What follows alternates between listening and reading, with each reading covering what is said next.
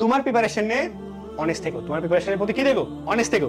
Okay so I know but it means তুমি বুঝতে পারতেছো বিষয়টা? দেখো, তোমাদের মা বাবা আসলে অনেক কষ্ট করে প্রিপারেশন নেওয়া যায়। তুমি ভেবো না যে, তুমি হলা যে তোমাদের, তোমার বাবা মার এত ইনভেস্টমেন্ট সো এতদিনে তোমার বাবা মা বা তোমার ফ্রেন্ডস বা কি বলব যে, তোমার রিলেটিভ যে হবে এখন বাবা মা বেশিরভাগ সময় করে।